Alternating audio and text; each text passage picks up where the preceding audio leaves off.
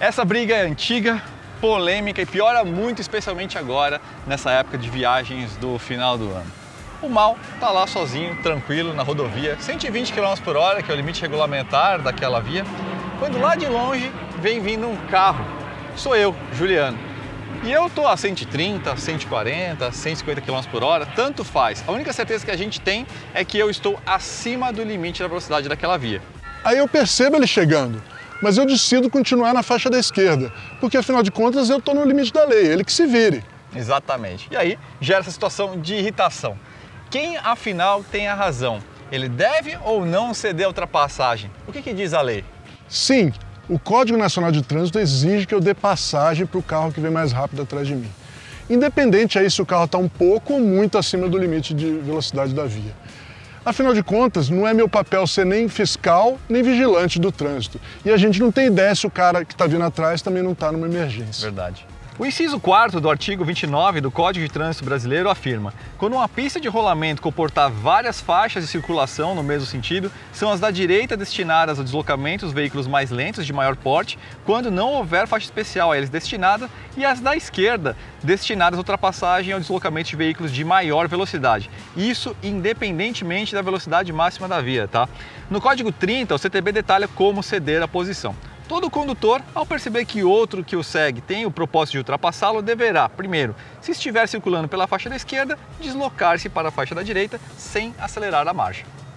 Se o mal, que está no limite máximo da velocidade regulamentar daquela via, não der ultrapassagem para o carro mais rápido que está vindo atrás, de acordo com a Polícia Federal, ele estará cometendo uma infração média apontada no artigo 198, deixar de dar passagem pela esquerda quando solicitado. Mas tem outro lado também. É um erro muito grave do cara que está mais rápido vir lá de trás, dando farol alto, esperando que o carro da frente desapareça, sem ele ter que, no mínimo, tirar um pouquinho o pé do acelerador. Verdade. O carro mais rápido só pode solicitar a ultrapassagem quando houver tempo, espaço e segurança para o carro mais lento ceder. E se na minha impaciência de exigir a ultrapassagem eu grudar no carro da frente, aí eu estarei cometendo uma infração grave prevista no artigo 192. Deixar de guardar distância de segurança entre o meu veículo e os demais, seja para frente, seja para as laterais. E se eu decidir ultrapassar pela direita, a infração que eu estarei cometendo é a média que está prevista no artigo 199. A maioria dos desentendimentos acontece por erro de comunicação. O cara que está vindo de trás não pode ficar dando luz desde lá de trás. Também não pode colar no carro da frente.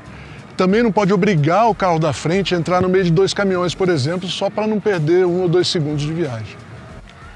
O item C do inciso 10 do artigo 29 aponta que ao efetuar a ultrapassagem, o motorista precisa se certificar de que a faixa de trânsito que ele vai tomar esteja livre de uma extensão suficiente para que a sua manobra não ponha em perigo ou obstrua o trânsito que venha em sentido contrário. Na verdade, todo motorista tem que ficar prestando atenção sempre no espelho, independente da velocidade que esteja, mesmo que esteja acima do limite da via. Porque sempre pode vir alguém mais rápido pela esquerda. E, gente, um pedido de ultrapassagem é só um pedido de ultrapassagem. Não tem por que se sentir inferiorizado ou chateado porque alguém está vindo mais rápido atrás de você. E aliás, se esse pedido de ultrapassagem veio de forma pouco educada, não fica nervoso, não revide. Nada de frenagem brusca para assustar o cara que está vindo atrás. Nada de você acelerar logo depois que você deu passagem para o cara à sua esquerda. Acelera essa Ferrari aí, Schumacher.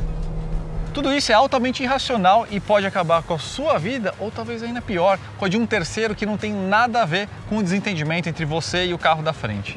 Uma dica aí, se você vê que não tem como você dar passagem só mais à frente, dá a seta para a direita, porque aí você vai comunicar ao cara de trás que você tem intenção de deixar ele passar e você vai fazer isso assim que for possível. Né?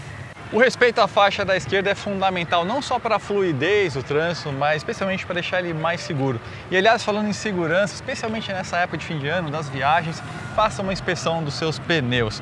Procure por bolhas presentes, tanto na lateral interna quanto externa. Veja o nível de desgaste presente no Tread Wear Indicator, TWI, aquela barrinha que fica ali entre os sulcos na banda de rodagem. Aliás, falando em banda de rodagem, veja se não tem nenhum objeto incrustado.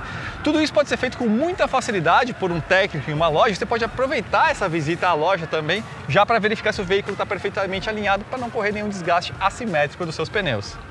E não se esqueça de calibrar seus pneus a cada 15 dias, especialmente antes de uma viagem longa. Né? Com os pneus na pressão correta, você economiza combustível, evita desgaste e previne bolhas. Exatamente. Aliás, no fim desse vídeo a gente deixou indicado quatro links de quatro vídeos antigos que a gente gravou sobre esses conteúdos, sobre bolhas, sobre alinhamento, sobre os indicadores de desgaste, TWI, WWI e sobre aquaplanagem também, porque essa época chove bastante. Dirija com segurança e aproveite muito o final do ano.